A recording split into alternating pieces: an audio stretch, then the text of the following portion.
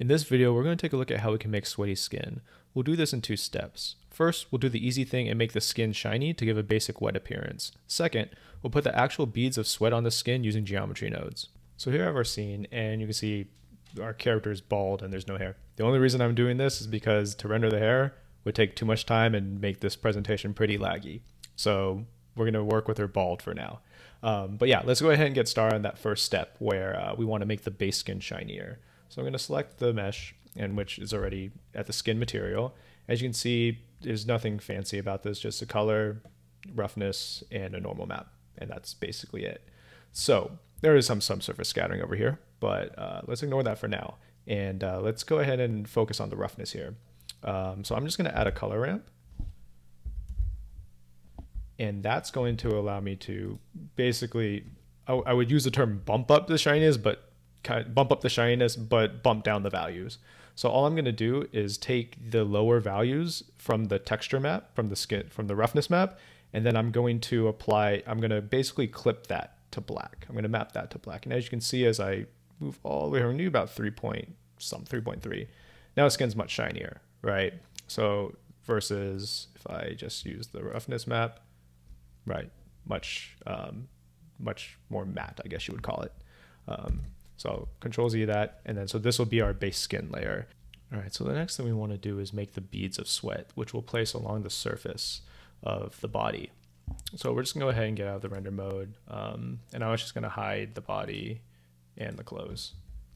And uh, what we wanna do is uh, we wanna you know, add a basic object. So just do something like a cube. And I'm gonna scale this down quite a bit. And I'll have to change this also later. I'm not going to get the scale perfectly. Do something like this. And then I'm going to add a modifier over here.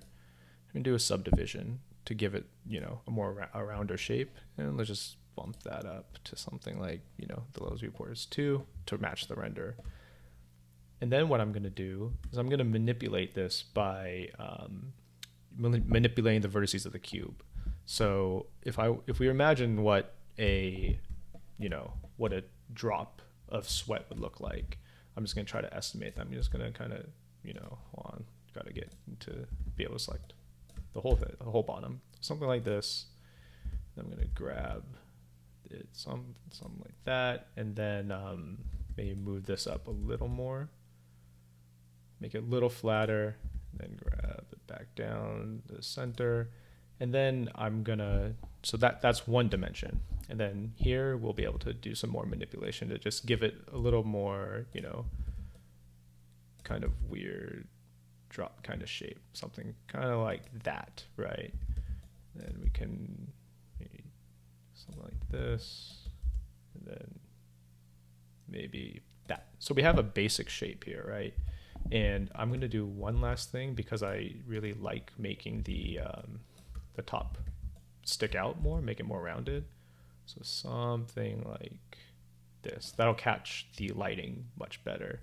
And then I think I'm going to do one last thing, which is grab that up and then grab Z just so we can align it well and then more or less center it. And then this will be one of our shapes for, um, for a sweat bead. Um, so I'm going to stop the video here and I'm going to go ahead and create the rest of them and then uh, we'll come back. Right, so I've uh, went off and created some sweat shapes. So you can see I have something like that. And let me get out of transparency mode. I have something like that and something a little more angled. And then finally kind of a chunkier um, sweat shape. So what we want to do, I'm going to go ahead and enable the visibility, visibility of all of them. I'm going to actually add them to a collection. And we'll just call this sweat shapes. And the reason I'm to add, uh, the reason I'm adding these to a collection is because I'm to want to be able to use this collection inside uh, geometry nodes. So I'm to have geometry nodes pick any of these three at any given time with some random value, for example, and then I'll be able to place these randomly on the skin of the character. All right, now that we have our sweat shapes done, um, let's go ahead and start with our geometry nodes. So I have the mesh selected, and I'm gonna go to modifiers, add modifier, and then geometry nodes. I can put this before the collision. I don't think it really matters, but just do that anyways. All right, then we create new, and now we have our basic geometry node set up. Okay, so our first task is we want to tell geometry nodes where we want the sweat shapes to be placed on the body. So the first thing we're going to do is we're going to do Shift A and then search for points, and we want to have distribute points on faces. And as you see, all of a sudden there are points where along the mesh, but you can no longer see the mesh, right? So these points will define, we'll replace these points with the sweat shapes eventually. Okay, but we need to get the body back because if we leave it like this, we're not going to be able to see, we're just going to see some random like uh, sweat shapes and we're not going to see the body. So in order to do that, do uh, Shift A, search, I think it's join geometry. We add that node. I'm just going to place that out there. I'm not going to join that, I mean, fill that quite yet. So we're going to pipe the points to it. Then we're going to pipe the output into the final output of the geometry. Okay, so it still has points. Um, but note note this oblong shape, this kind of more rectangular shape, whereas everything else is mostly circles. This shape means you can take in multiple inputs. So our original body is actually this geometry right here. I'm just gonna come over here, and there we go. Now we have the body with some points, um, and we will work on that in you know we'll work on getting that um, fixed up. Okay, so the next thing we want to do is so for this tutorial, um, I'm not to have sweat on the body, even though it does work on the body. I really want to focus on the face. That's a lot easier to work with. I mean, a lot easier to demonstrate what's going on. And so the question is, how do we isolate, you know, the points from such that such that they're only to be placed on the face? So uh, let's go ahead and do that. So I'm to go to edit mode on the body and um, ignore that I had that selected. so, okay. So what I'm going to do is actually create a vertex group. Now I'm going to call this sweat vertex group. Okay. And then I'm going to select just the face and a little bit of the neck, but you can obviously, if you want to get rid of the neck, just make sure I have everything there mostly, even though the back doesn't matter.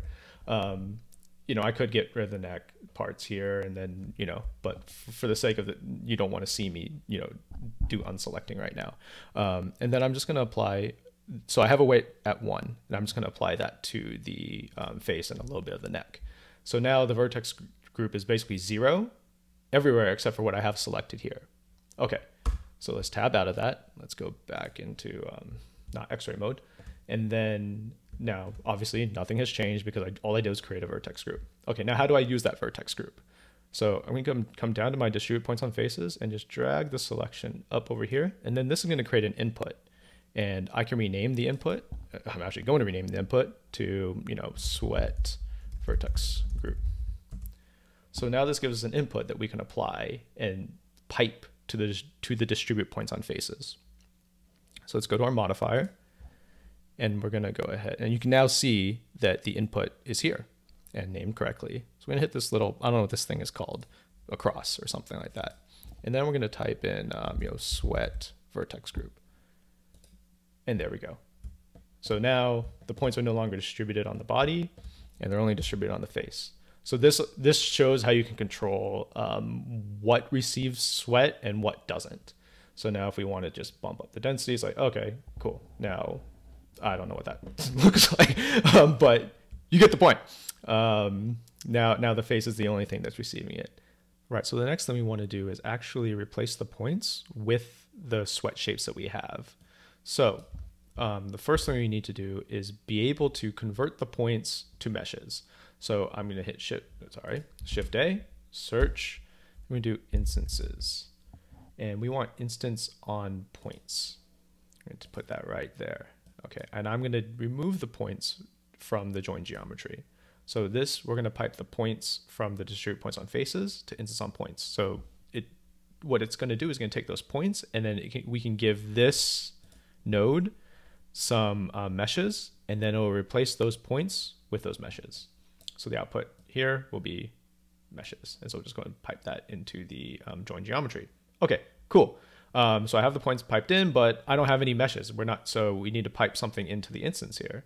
So let's go all the way back to, uh, remember we had that sweat shapes collection up here. Okay, how do we reference that and pipe that into the instance on points? Shift A, search, collection info. All right, let me move up a bit. Okay, now this is going to represent our collection, and here's where we type in our collection. So we'll type in sweat shapes, and then we're going to put that into instance, and you can see it's all messed up. Um, it's not getting different instances of the meshes. It's putting all three shapes that we have and putting it all into each every single point, right? Okay, so how do we fix that? All right, so first click on pick instance, and then we're gonna we need to fill in the instant in instance index. And the way we're gonna do that is use a random value. So shift A, search, random value. Okay, and change this to integer. So we get whole numbers of zero, one, two, um, non non-fractional numbers. All right, so we're gonna put that into the instance index. Cool. Now, how do we figure out the min and max here? Well, we have three shapes, two, three. Zero is gonna map to the first one, one's gonna map to the second, and then two will map to the third. Okay, so let's go back here. So, okay, zero, the minimum value zero, if we had negative one, that wouldn't make any sense because negative one doesn't actually map to anything. But the max is 100. That doesn't make any sense. So let's do 2. So this random value will generate zero, one, or 2 for any any given instance, right?